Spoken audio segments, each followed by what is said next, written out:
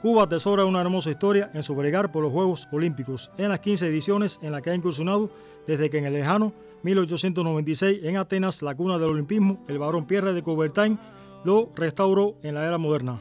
Llama poderosamente la atención cómo una pequeña isla con un criminal e injusto bloqueo ha brillado en el escenario deportivo olímpico, cuyos medalleros han estado reservados exclusivamente para las grandes potencias y en el que Cuba ha sido la sección.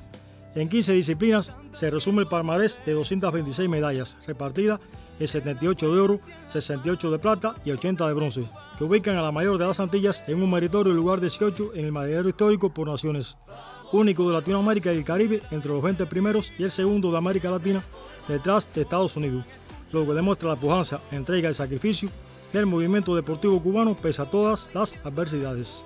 Otros hitos importantes que involucran a la isla en el concierto olímpico lo demuestra el hecho de que 22 son las naciones que han podido conquistar más de 200 medallas olímpicas. Solo 36 países o representaciones han logrado estar al menos una vez entre los 10 primeros del medallero.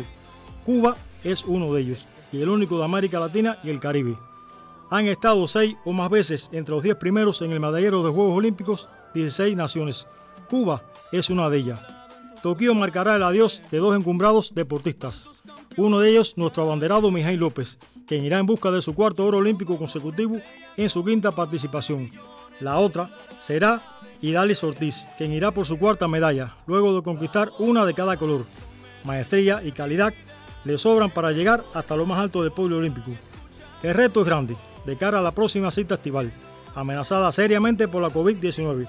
Pero yo soy optimista y confío en la estirpe ganadora de nuestros deportistas, quienes pondrán en alto el nombre de las cuatro letras, Cuba. Seguiremos tras los senderos olímpicos. Yufel Ferrer Gómez, Sistema Informativo de la Televisión Cubana.